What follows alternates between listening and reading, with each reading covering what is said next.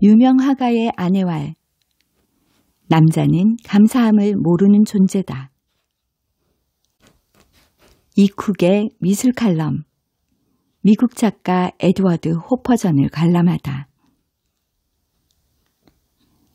세종대왕신문 이종국 작가의 글입니다. 세상에서 우스꽝스러운 꼴 중에 하나가 경기가 끝난 뒤 몸 푸는 선수일 것이다. 선수는 경기 중에 그의 진심과 열정, 그리고 경기력을 증명해내야 하기 때문이다. 에드워드 호퍼의 길 위에서 전시가 서울 시립미술관에서 2023년 4월 20일부터 열리고 있다. 전시는 8월 20일까지 계속된다. 에드워드 호퍼는 미술계에서 어떤 선수인가?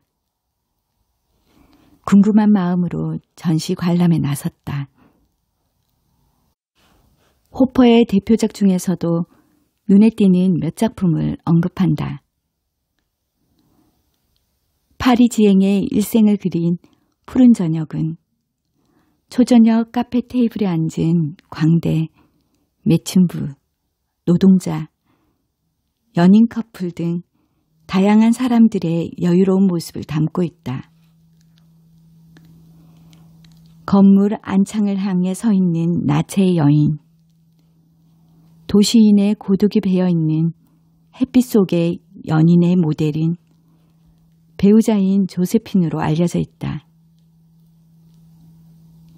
기찻길 너머 몽환적인 노을의 철길의 석양은 작가의 상상력이 추가된 작품이라고 한다. 작품을 보니 자유로운 한강변 민통선, 철조망 너머의 석양 노을이 떠오른다. 수작 들이기는 하나 기실 테크닉만으로만 말할 것 같으면 이 정도의 그림을 그릴 작가는 적지 않을 것이다.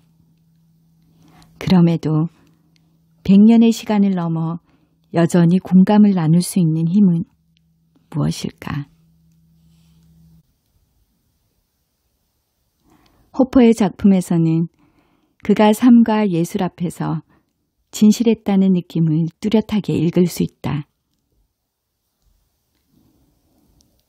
자신과 시대의 삶에 대한 애정과 깊은 성찰이 투영물인 작품으로 이어져 있다.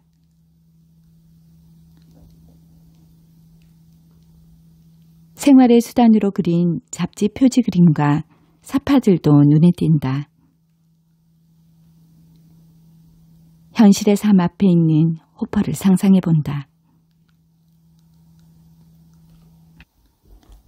물론 작가는 유의의 하나인 장난지를 어김없이 작품 속 곳곳에 남기고 있다.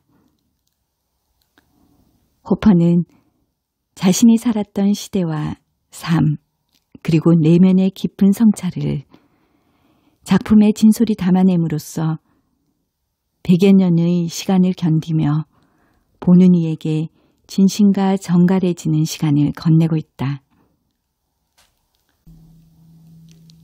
그럼에도 아쉬움 없는 인생이 어디 있으랴. 배우자이며 평생의 창작 동반자였던 조세핀 호퍼의 노년의 말 한마디도 여운으로 남는다. 감사함을 모르는 존재가 남자다. 나 자신은 무엇을 담아내고 무엇을 공감할 수 있을까?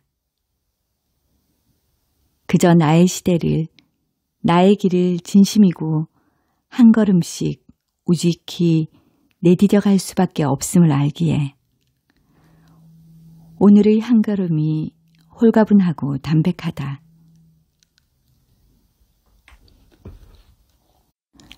조세핀 호프의 말을 잊지 않고 얼리버드로 티켓을 준비하여 함께 관람한 아들에게도 이전 자주 먹던 북창동 삼계탕으로 감사의 마음을 나눈다.